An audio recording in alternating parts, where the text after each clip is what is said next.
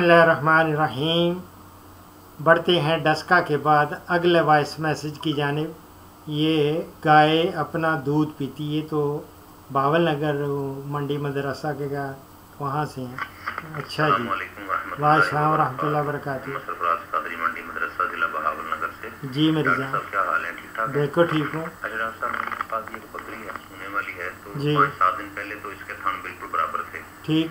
अभी जब इसने दूध उतारा है हाँ। तो काफ़ी फ़र्क आ रहा हाँ, है एक हाँ। बहुत बड़ा है और हाँ। एक छोटा है हाँ तो डॉक्टर साहब इस बारे में तो जरा रहनमाई फरमा दीजिए कि कोई दवाई इंजेक्शन वगैरह या कोई और देसी दवाई तो बता कर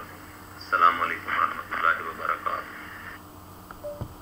मेरी जान मेरी जान इसको मेस्टाइटस है जो एक छोटा है उसको बेहतर है कि आप अभी भी टाइम है इसमें लैक्टोवेट या कोबैक्टिन 2.5 परसेंट इनमें से दोनों में से ट्यूब्स मिलेंगी, वो आप लें, वो इनके चढ़ाएँ।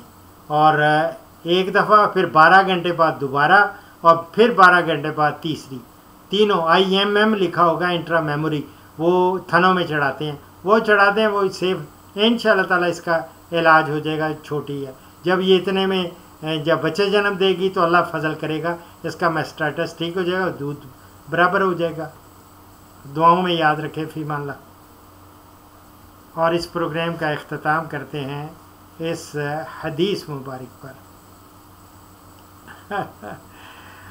इब्ने उमर, हज़रत इबन उमर रज़ी अनहो का बयान है कि अलैहि वसल्लम ने फरमाया कि कोई शख्स बाएँ हाथ से ना कोई चीज़ खाए और ना पिए, इसलिए कि शैतान बाएँ हाथ से खाना पी पीता है खाता पीता है। आ, ये मैं मुस्लिम से कोट कर रहा हूँ फ़ीमान ला